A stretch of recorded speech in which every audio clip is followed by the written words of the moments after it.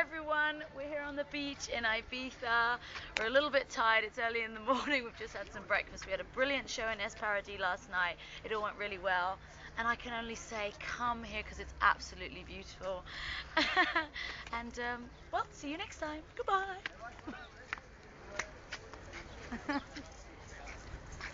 More of the view.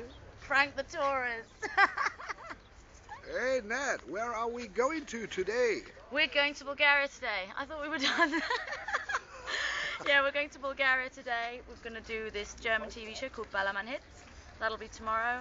And then we'll be coming home to Germany. Yay! God. More shows. Cut.